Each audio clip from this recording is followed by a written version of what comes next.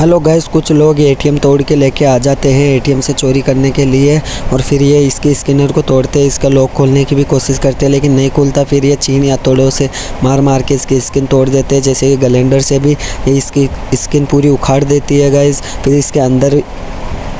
अंदर से इसको काट के निकाल लेते हैं फिर इसके अंदर एक बॉक्स निकलता है गाइज़ फिर जैसे ही इस बॉक्स को निकाले तो उनको बहुत खुशी हुई कि इसके अंदर पैसे मिलेंगे लेकिन नहीं गाइज़ ये तोड़ के देखेंगे पहले कि क्या है लेकिन इसके अंदर कुछ भी नहीं मिला गाइज़